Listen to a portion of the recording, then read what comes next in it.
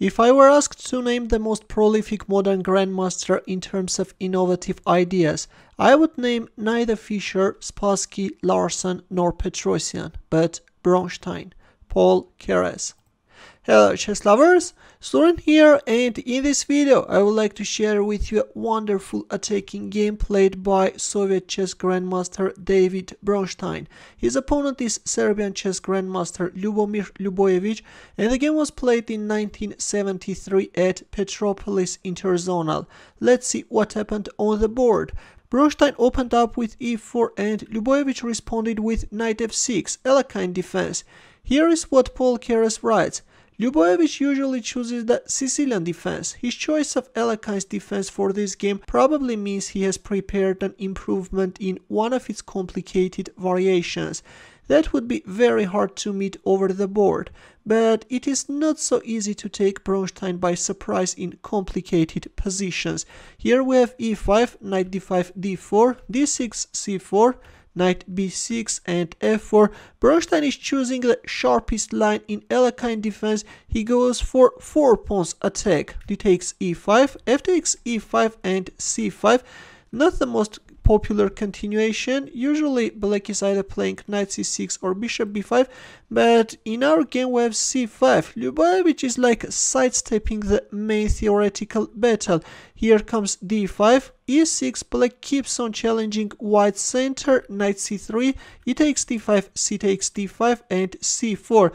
Although with this move, black is placing his pawn on a dangerous square, but at the same time is opening up his dark squared bishop's diagonal.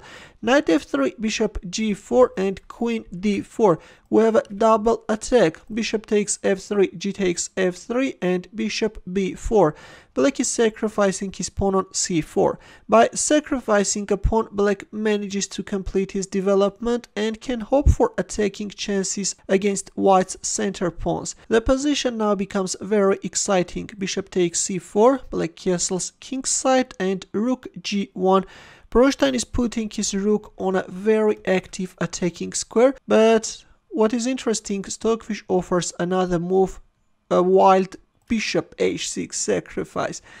The idea is that if g takes h6, then white can go for e6, and if bishop e7, then rook g1 check is coming, and then f4, and white is actually managing to unleash a very dangerous attack. But in our game, we have a comparatively calmer rook g1 move. Already, black wants to go for e6 and open up the queen's diagonal. g6 was played, black is acting against any possible threat and it turns out that two years earlier in 1971 Ljubojevic had this position against Honfi. Instead of playing g6, in that game black chose queen c7 but quickly lost. Ljubojevic played e6, and after f6 played bishop h6 and after queen takes c4 he went for rook takes g7 and after king h8 played rook g8 checking and black resigned. If rook takes g8 then queen takes f6 is coming and if king takes g8 then the queen is joining the attack from g1 square. Let's go back this way in our game after rook g1 we have g6 although yes Black is neutralizing the threats from this diagonal and the g file, but at the same time this is weakening the dark squares. Bishop g5, queen c7. Black is both moving away his queen, is attacking the bishop on c4 and at the same time is threatening bishop c5. But in this position, Bronstein made a fantastic decision and he played bishop b3. Yes, he's provoking black to go for bishop c5 and bishop c5 is on the board. Queen f4 and with bishop takes g1 white is giving up a whole rook and at first glance it's not clear what he hopes to get for it. The further course of the game however will make that clear d6 of course you can't play queen f6 black can always respond with knight d7 that's why in our game we have d6 queen c8 and another very insane move by Bronstein king e2 well castling queenside looks more natural but Bronstein plays king e2 in order to keep this c1 free for the rook bishop c5 was played, which is a mistake after which Black is facing serious problems. Instead of playing bishop c5, it was better to play queen c5. And now if rook takes g1, then simply queen takes g1. And if e6, then knight d7. If e takes f7 check, then king g7. And if bishop h6 check, then king h8.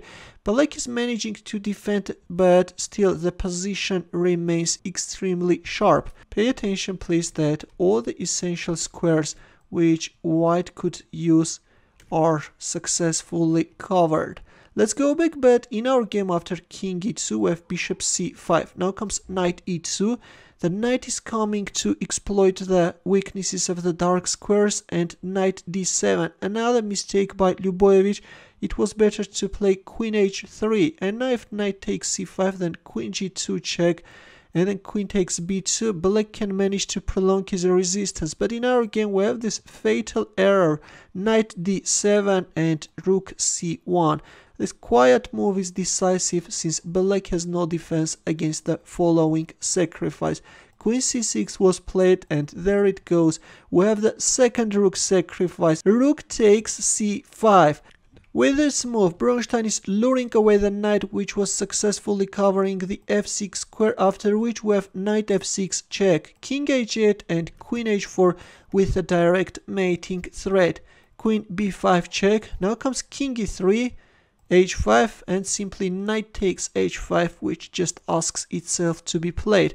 In order to prolong his resistance, Ljubojevic played queen takes b3 check. Well, if queen d3 check, then white can always find a safe shelter for his king. That's why in our game we have queen takes b3. Ljubojevic is removing the bishop in order to manage to switch into the game his knight, but there is no way out. Black's position is lost. Here, instead of moving back his knight, Bronstein played king d4, attacked both knights, knight e6 check, and we have king takes d5. Look at this insane position, guys. Where's white king going? Knight takes g5, we have knight f6 discover check, king g7, and queen takes g5.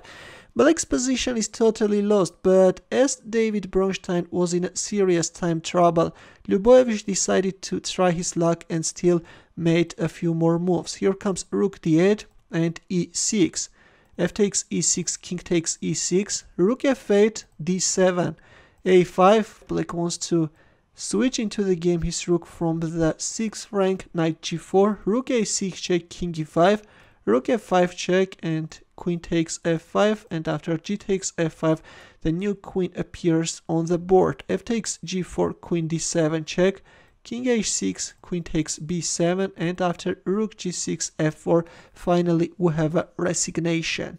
Just a wonderful game and here is what Bronstein writes. After the game, the American chess Maecenas Isidor Turover gave me his own brilliancy prize in the form of two magnum bottles of the finest French champagne. It took us only two hours to finish them.